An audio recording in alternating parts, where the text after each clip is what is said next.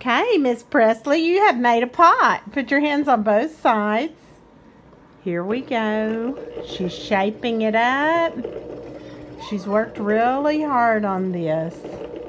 Put your thumb inside and get the edges real good. Beautiful. Lovely. Now can I have a Great job.